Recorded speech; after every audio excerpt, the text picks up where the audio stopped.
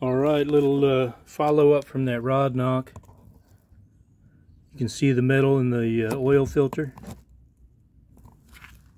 down in the cup.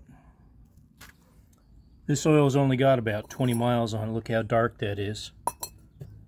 And uh, using a little magnet, definitely have some uh, ferrous material in there.